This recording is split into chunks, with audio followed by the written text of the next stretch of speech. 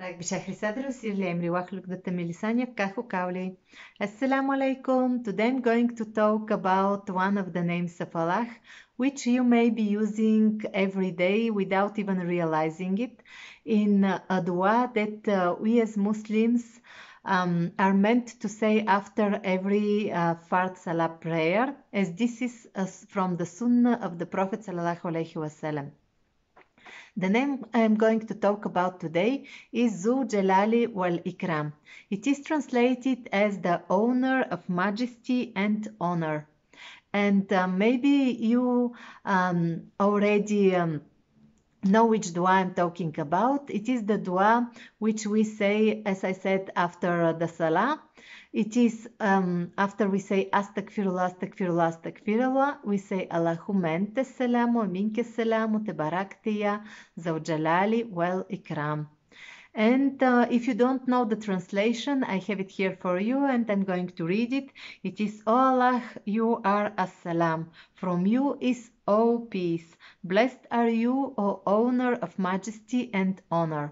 And um, when we know what we are saying actually after our salah, what this dua means, I hope that uh, we will say it with much more love towards Allah subhanahu wa ta'ala because we are mentioning at least five times a day this name of Allah together with the name as-salam.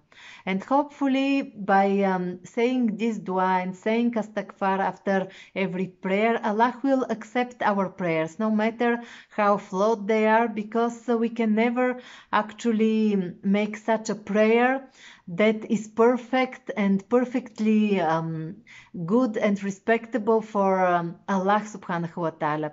Because um, as human beings we are flawed and we cannot um, execute such a prayer uh, in such a way that um, will be enough to show our gratitude towards Allah subhanahu wa ta'ala.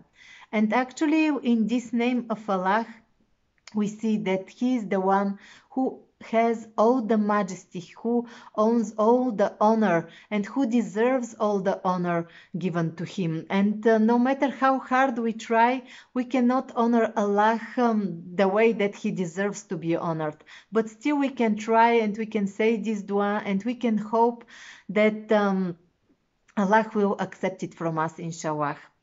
Also, this name of Allah is mentioned in the Quran in Surah Ar-Rahman, the 55th Surah.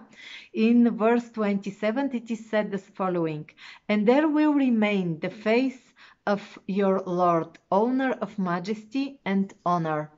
So as we can see, this name of Allah is also mentioned in the Quran and it is mentioned together with the face of Allah subhanahu wa ta'ala. This is what is the purpose of uh, our creation, to face our creator one day inshallah.